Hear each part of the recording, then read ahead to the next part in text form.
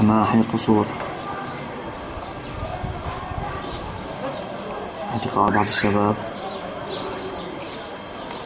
أمام مسجد طرحة الخير. 15 3 2013 بعد عامين من الثورة بعد خروج مظاهرة داخل مسجد طرحة الخير. اعتقاء بعض الشباب. الله أكبر.